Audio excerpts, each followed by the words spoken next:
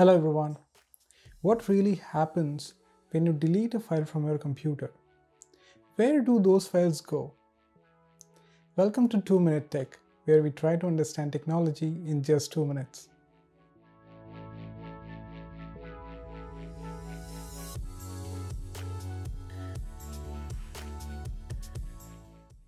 You must have noticed that when you delete a file, it is moved to either trash or recycle bin in your computer. At this stage, this file is still occupying space on your system and can be recovered back.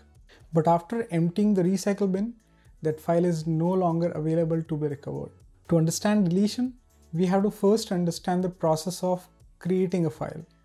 When you create and save a file on the hard disk, it creates a pointer which tells the operating system where the file begins and ends on the storage.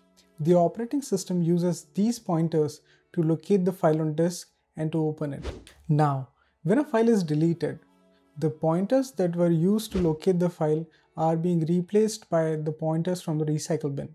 When the files are being deleted or removed from the recycle bin, the pointers are also deleted permanently, which makes it hard for the operating system to find the files.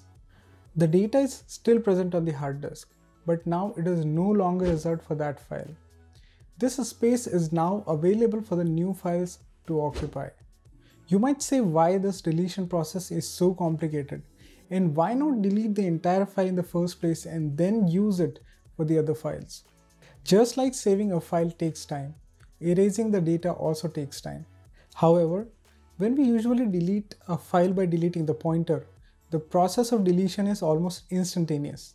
And when the new data is written on the available space, it takes almost the same time to rewrite on the preoccupied space as it would take to simply write it.